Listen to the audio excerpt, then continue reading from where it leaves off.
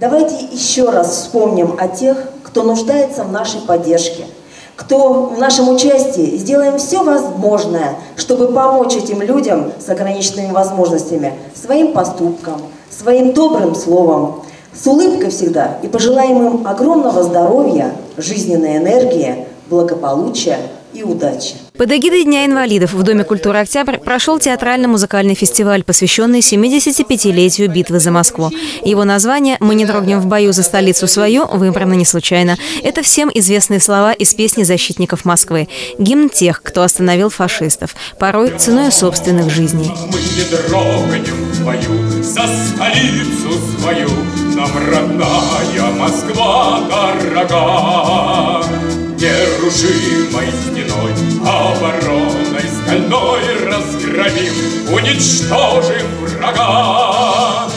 В зале ветераны, дети войны, инвалиды, пенсионеры. Все они как будто оказались в далеком 41-м, когда на захват Москвы Гитлер бросил свои лучшие подразделения. Это зенитчицы. Они напоминают зрителям о том, что 20 тысяч девушек воевали вместе с мужчинами днем и ночью, охраняя небо столицы. Бой медленною кровью истекал.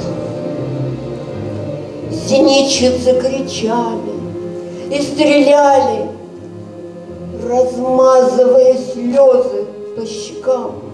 В этот вечер на сцену вышли ребята из Одинцовского центра социальной помощи «Семья», дети и взрослые с ограниченными возможностями здоровья, пенсионеры и другие получатели социальных услуг. Они рассказали о подвигах Виктора Талалихина, 28 памфиловцев, Зои Космодемьянской. Много нас, миллионы нас.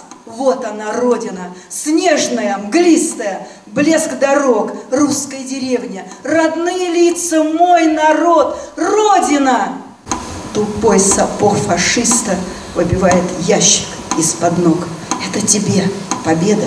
В этот день звучало много стихов и песен о защитниках столицы. В мае 65 года, в честь 20-летия Великой Победы, а также за массовый героизм, мужество и стойкость жителей в борьбе с захватчиками, Москве было присвоено звание «Город-герой».